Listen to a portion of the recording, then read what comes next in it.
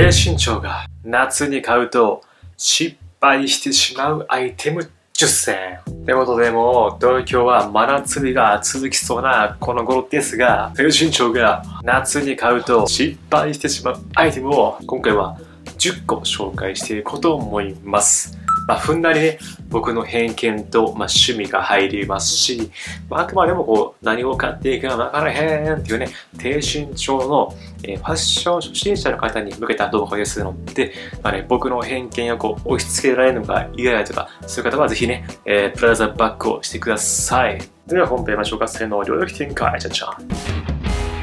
で、このチャンネルですね、GU ユニコーンの、まあ、プチプラアイテムを中心に紹介していき、まあ、低身長でも低コストでかっこよくなって、周りをギャフンと見返そうぜってね、チャンネルをやっております。低身長男性でファッションに悩む方をゼロにするのが目標です。ぜひですね、チャンネル登録と通知のベルマークをお願いします。低身長男性が夏に買うと失敗してしまうアイテム1個目がソールの薄いサンダルです。夏ってやっぱ足がね、クソほど蒸れるし、なんならもう今から蒸れてるし、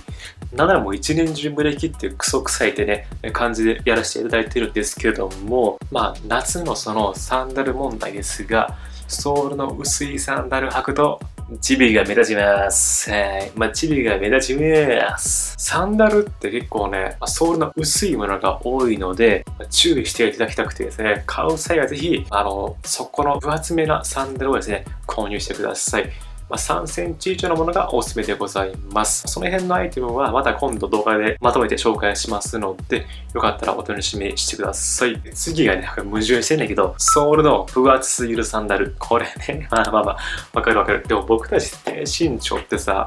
ね、身長盛りたいねんけど、でもあからさまにものをさ、はずない。これわかるからプライドが高いからかもしれんけど、なんか、あからさまに持ってさ、え、お前、身長持ってるんやって言われるのはね、めっちゃ嫌なんですよ。身長は自然に盛りたいんですよ。なので、ソールの分厚さは、マックスでも4とか、3から4、どんだけいっても4.5とかのものがおすすめですね。僕は以前4.7センチのヒールがあるサンダルを買ったんですが、やっぱね、サンダルかけるヒールは、お姉感がすっげえ増すんですよ。なんでね、あの、お姉感増してもいい方とか、そうフェミニンな格好が好きな方には全然問題ないですけども、僕みたいな割とこうなんか普通のシンプルっぽい格好が好きな方は、ソールはね、3センチから4センチあたりのソールがおすすめです。なんで分厚すぎるサンダルもね、意外と避けた方がいいんかなと思います。で次はシアー素材のアイテムです。シアー素材のアイテムはね、もう去年も流行ってて、今年もね、おすすめやし、僕も紹介したんですが、ファッション初心者の方がシアー素材買っちゃうと、もしかしたら失敗するかもしれません。それはなぜか。え、もうなんかね、腕毛透けます、すね毛透けますとかさ、なんかタンクトップなんか変なもの着てますとかさ、そういうね、気を使わないと失敗する部分がね、多いんですよ、シーアー素材って。ファッション初心者の方は、おとなしくね、シーアー素材は避けた方がね、いいのかなと僕は思ってます。次はですね、膝よりも長いだけのハーフパンツです。最近はね、結構ドカーンとでかくて、膝よりも長い、あの、バスパン？バスケットボールのそのパンツみたいなさ、パンツがちょっと流行ってんねんけど、これね、初心者の方がやっちゃうっていうか、なんだ僕も僕もっすよ。やると低身長で膝よりも長い丈のパンツ、ハーフパンツ買うと僕たちは足が短いんでさらに長くなります。はい。意味わからんだけど、ハーフパンツになって、めっちゃこうでむずなるし、めっちゃ足がね、短く見えるんで、なんで、もうハーフパンツはね、むっちゃ下げた方がいいです。うん。すね毛も見えるし、ハーフパンツが嫌いっていう女子がおっても、ハーフパンツ大好きっていう女子はね、めっちゃ少ないと思うんで、基本的に避けた方が、まあ、無難かなと思います。次こちらですね。半袖のチェックシャツです。はい。僕も半袖のチェックシャツは好きで、毎年買ってんだけど、これ、ファッション初心者の方になぜおすすめしたいかというと、おしゃれじゃない人もですね、おしゃれに全く興味ない、あお母さんに服買ってもらってますみたいな、そういう人でもですね、まあ、趣味は勉強です。特に好きなのは数学です。そんな人もですね、今の偏見か。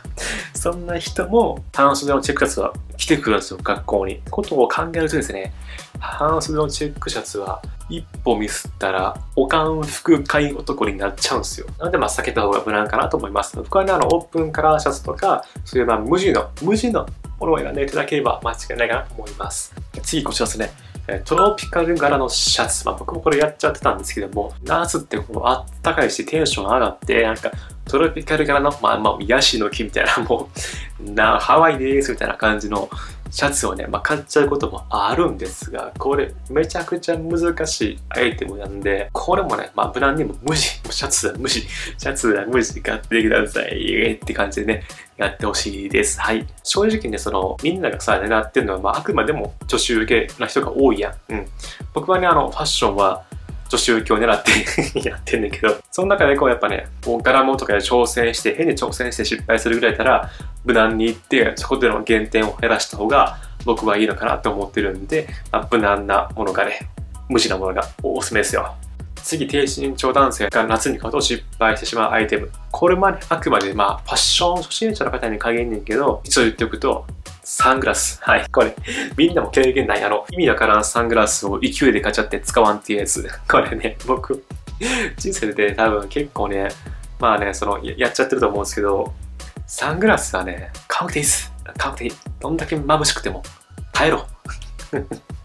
まあ、その目の病気とか言ったらしゃあないよ。だからあの、普通に、なんかおしゃれやけどこれ、勢いでキャッチアウ。なんか修学旅行行って勢いでキャッチアウみたいな感じのサングラスは絶対失敗するんで、僕もそれでね、2回3失敗して、なんか僕、大学の時代の、なんかその旅行みたいなの行って、まあ後輩もおってんけど、僕はサングラスつけて行ってたんですよね。全然似合ってなかったけど、サングラスつけて行っていて、それつけてこうプール入っててんけど、なんか、うえみたいな。え、後輩、うえみたいな。なんか二人組の女子の可愛い子がおって、片方が僕好きやってね、まあ、後に付き合ってんけど、付き合ってんけど、こっちのこの可愛い後輩二人のやつさ、おい、おっすこみたいな感じでサングラスつけていったら、あの、後に知ってんけど、その、付き合った子じゃない方の女の子は、何々で出さないってちょっと笑われてたみたいです。なんで、あの、あの、サングラスはですね、あの、絶対下げた方がいいです。はい。で、次こちらですね。セールで安くなった春服。これ下げた方がいいっすよ。なんか、え、春服安くなってるから、なんか秋に行けるかもしれんし、買っちゃおうってね、やっちゃうんですけど、秋になったら別の服欲しくなってます。はい。なんで、あの、は、ハールじゃないわ。セールの春服は買わなくても大丈夫です。まあ自分がね、どうしても好きなブランドで、なんか普段買えへんけど安くなっていたからみたいなのはまあいいかもしれへんけど、まあ、基本的にはね、買わなくても大丈夫です。次がですね、白黒グレー以外の靴です。はい。夏ってさ、どうしてもこうシンプルな服装でカジュアルっぽくなっちゃうんですよ。そこでさらにですね、なんか変なこう、マッキンキンとかね、まあ、わからんけど、マッキンキンの靴とか履いちゃうと、もうね、もうチームバランスが崩壊しちゃうんで、白黒グレーの靴で、まあ、落ち着かせて、足元だけはね、まとめにいった方が、きれいめにいった方が僕はいいと思います。次がこちらですね。レイヨン100%のシャツです。まあ、レイヨン100%っていうか、まあ、テロテロ系の素材の、あのー、アイテムよりかは、今年はね、天然繊維、まあ、コットンとかリネンとかが流行ってるんで、そういう天然繊維のね、アイテムを着ていただければ、間違いないのかなと思います。ただまあ、レイヨンもね、まあ、やりやすいの多いし、なかなかいいと思うんだけど、まあ、レイヨンはシワになるしね、なかなかこう、初心者の方にも手入れがめんどくさい。で、洗濯とか乾燥とかしたらパンチ縮むみたいな、もうアイテムも多いによって、僕はですね、まあ、買うなら、そのコットンリネンのものが多いキューバーシャツとかの方が僕はおすすめではございます。はい。まあ、あくまでね、今回紹介したのは僕のまあ趣味思考も織り交ぜて、トレンドも織り交ぜたものなので、あ、の、どうしてもね、僕の意見が違う方はもちろん多数いると思うんで、まあ、僕と意見が合う方だけね、ご参考にしていただければ幸いでございます。で、今回は低身長男性が夏に買うと失敗するアイテムを計10個紹介していきました。今回の動画参考だったら高評価をお願いします。で、今回もご視聴いただきましてありがとうございました。また次回の動画でお会いしましょう。以上、ありがとうございました。さよなら。